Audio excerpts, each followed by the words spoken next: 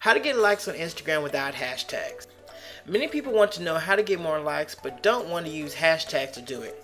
Maybe you don't feel like searching up tons of hashtags to put in your post, or maybe you tried hashtags before but didn't really notice any increase in likes. Whatever may be your case, here's one simple way to get likes without them. Step number one post something good. You need to make sure that whatever you post, it is actually good content and would make people want to check out your other posts and even follow you to help build up recurring likes automatically. People like to see things like cute animals, smiling faces, beautiful nature scenery, and attractive looking people. The picture should also be full of light and not dark or blurry. Step number two search similar accounts and like their stuff.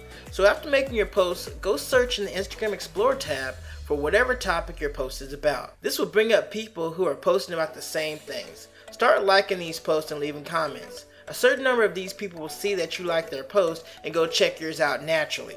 Try to leave as many comments as possible. Step number three take it one step further with hashtag like for like. Type in hashtag like for like in the Instagram Explore tab and start liking these posts too that come up in the search results. Try to leave comments on those posts that don't have that many likes or comments. This will increase your chance of getting likes and followers.